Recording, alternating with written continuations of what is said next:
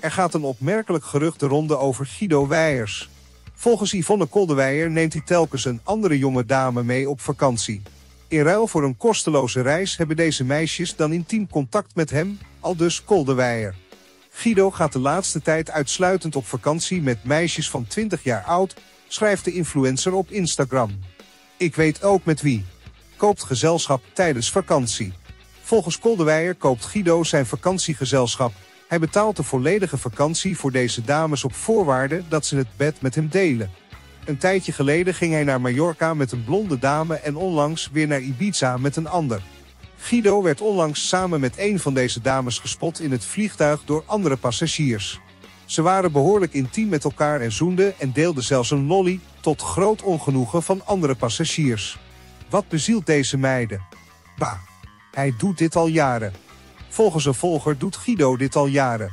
Ongeveer 12 jaar geleden had ik een vriendin die zijn vriendinnetje mocht zijn. Ze ging mee naar feesten, op vakantie enzovoort, schrijft de volger in een bericht aan Koldewijer. Ibiza. Op Guido's Instagram is te zien dat hij enkele weken geleden daadwerkelijk op Ibiza was. Zon, rust en het geluid van de zee. Een perfecte combinatie, schreef hij bij een foto van zichzelf met de zee op de achtergrond.